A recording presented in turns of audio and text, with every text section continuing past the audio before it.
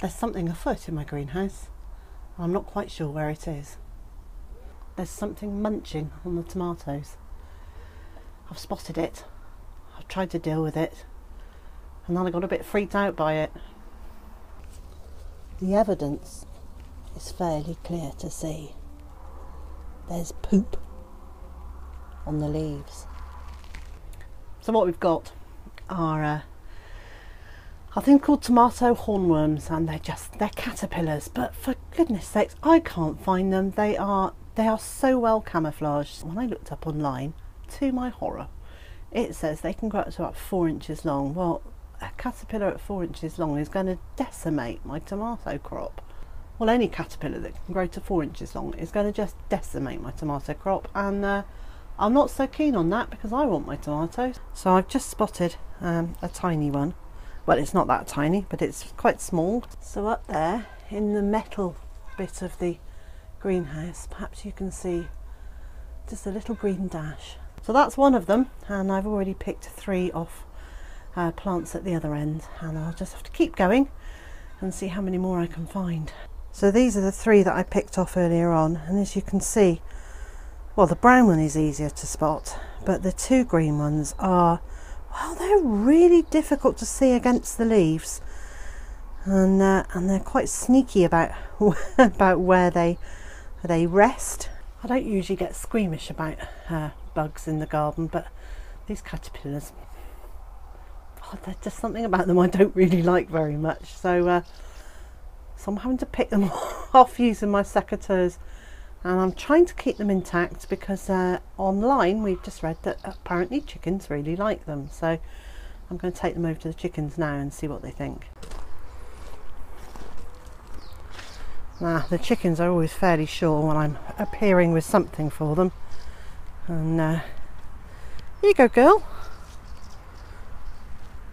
see what you make of that. Is there anything there that you like? Oh, yeah, she's got it straight away. She seemed to like that. Go and have a look for the others. There's two more down there. Can you see it? Good girl.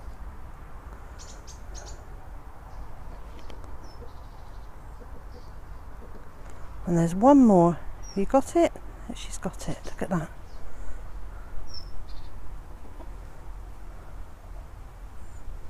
Well, there we go. Apparently they are. Oh, she was just surprised by Elvis.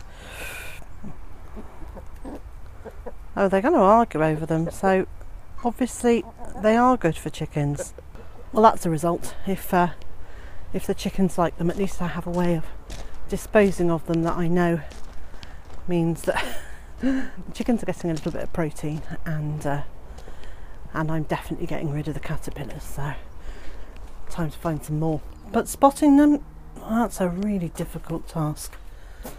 And really the only way I can do it is to have a look and see where where there are little piles of caterpillar poop and there's some there's some on the shelf there which would imply that there are caterpillars up here somewhere. I don't know why I'm whispering. They're not they're not going to uh, to notice me moving around them. Well, it looks like I'm going to be in the greenhouse for some time yet, trying to spot caterpillars that are the same colour as the tomato plants. Wish me luck. Aha!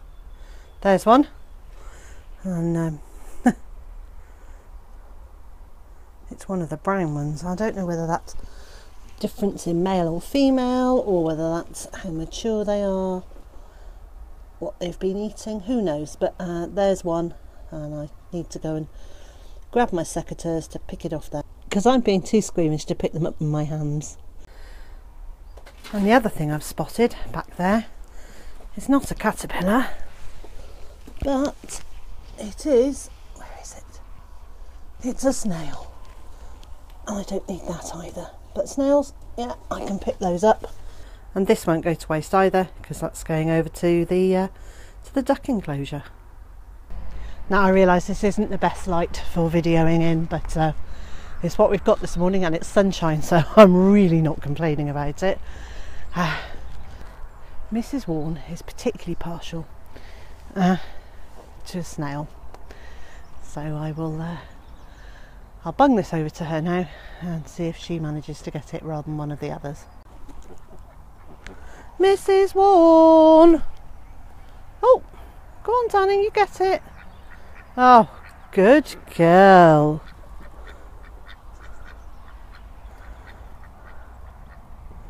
Well, that will make her a happy girl. She does like a snail. And apart from ducks being brilliant for their eggs and their meat, they are superb garden cleaner uppers. And um, in the autumn, I'm going to let them go through the food forest and pick up any slugs and snails that they can find and any other grubs that they uh, that they want. And then once I've secured the uh, the winter crops in their beds so that the ducks can't get at them, uh, then I'll let them go through the win- the uh, garden as well, the annual vegetable garden, and uh, and then they can they can pick out any any slugs and snails and grubs and all of those things from uh, the pathways and the beds here in the annual vegetable garden. While I was in the greenhouse, I hadn't realised how how warm the sunshine had got out here, and it's you know there's still there's a nip in the air today, um, and although it's August, it it feels actually it feels much more like the end of September. Um, so it's got that that nippiness to the air and that dampness that comes in autumn. Uh, but oh, lovely sunshine too, which is well blinding because it's so bright, but uh, it is just it's just so welcome. While I'm at this end of the garden, I thought I'd give you a quick update on the uh, the little fatties, the meat birds. That they're so well settled in there. They're, they're active, they're happy, they're running around. They've got we've got wing flapping and they're foraging, and they just they look happy and healthy. Now that plastic sheeting that you can see next to their house there, I've put up as wind protection because the wind goes in that direction. So it means that they can be on the other side of it and be sheltered. But know, these are these are not unhappy chickens. So all those reservations I had about having meat birds and yeah, I keep changing my mind. I keep thinking, you know, they're happy and healthy, and you know, what more could you want for a chicken? Well, I think while I'm at this end of the garden and uh, and feeding the, the ducks their snail, um, I'm going to just gather in the runner beans for today's harvest and get so I can get those into the freezer, uh, and then I'm going to spend the day, well, pottering in the garden. So, wherever you are today and whatever you've got planned, I hope it's a good one for you. And I also hope that you can join me again tomorrow.